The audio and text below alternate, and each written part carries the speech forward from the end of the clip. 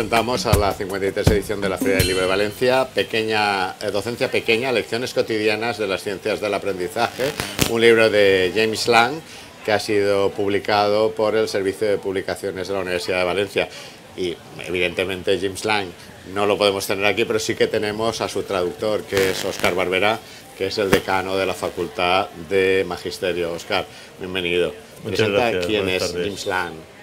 James Lang es un profesor de lengua inglesa de una universidad estadounidense que se dedica básicamente a trabajar con la docencia de excelencia. Él tiene, él dirige el Centro para la Excelencia en la Docencia de, de su universidad y ha escrito unos cuantos libros relacionados y este es el primero que introducimos en esta colección de la universidad para mejorar la docencia. de los ¿Cómo ha sido el hecho de, de traducir a, a James Lang eh, Eh, al castellano y cómo incluirlo dentro del servicio de publicación, de las colecciones que tiene el servicio de publicación de la Universidad de Valencia? Eh, comenzó con un autor, uno de los autores más importantes en esta, en esta parte, que es Ken Bain. Eh, su libro que hacen los mejores profesores de universidad es uno de los libros más vendidos de toda la historia de la formación de docentes.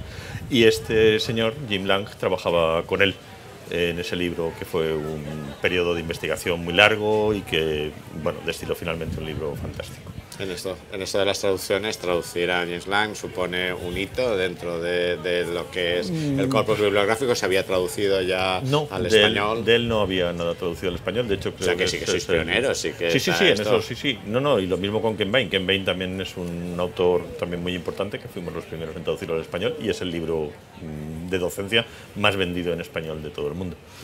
¿Qué aporta James Lang?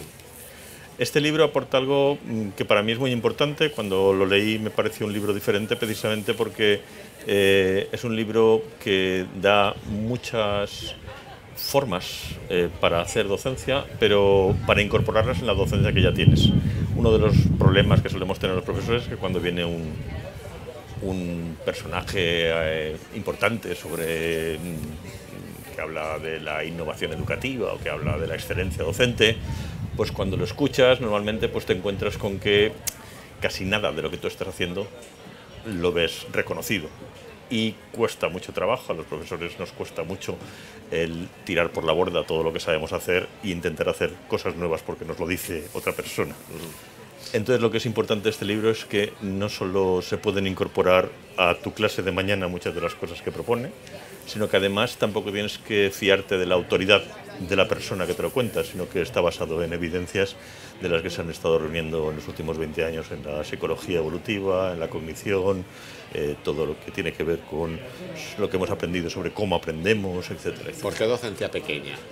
Docencia pequeña eh, es eh, precisamente por eso. Docencia pequeña es el concepto del libro y es porque él llama docencia grande, big teaching, que llaman en inglés, a cuando alguien está haciendo algo tremendamente novedoso, tanto en el currículo como en la forma de hacerlo, como en la tecnología. Entonces, docencia pequeña es eh, esas cosas cotidianas, diarias, que uno puede hacer en su clase para ayudar a que sus estudiantes mejoren sin tener que invertir una enorme cantidad de tiempo, una enorme cantidad de recursos, una enorme cantidad de tecnología, eh, cambiando la forma de docencia.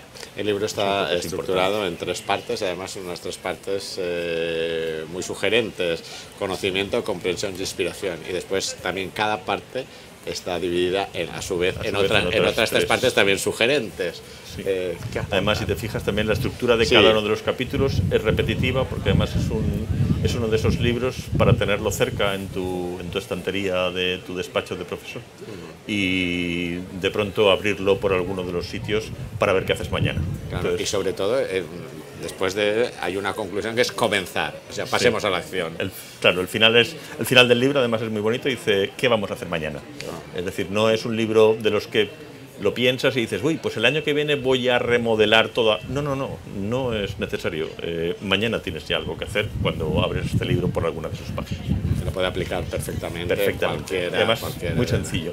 Y lo que está muy bien es que eh, cada vez que te aconseja algo que tengas que aplicar, previamente ha dicho toda aquella investigación que conduce a eso. En realidad es una traducción de lo que es la investigación básica en cómo aprendemos a cómo conseguir que eso tenga una repercusión en el aula.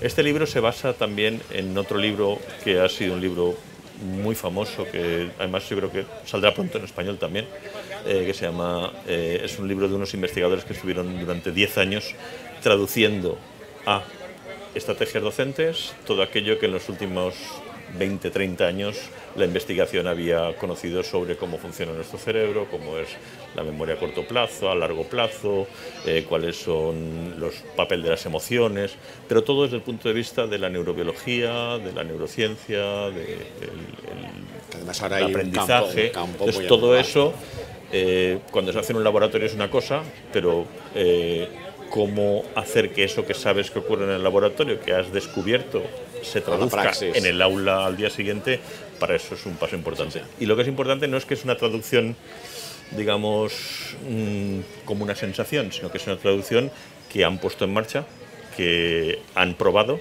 y que además tiene resultados.